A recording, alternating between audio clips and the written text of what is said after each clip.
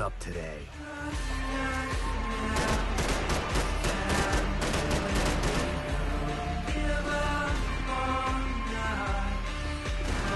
gate had opened at the other end of the departure lounge.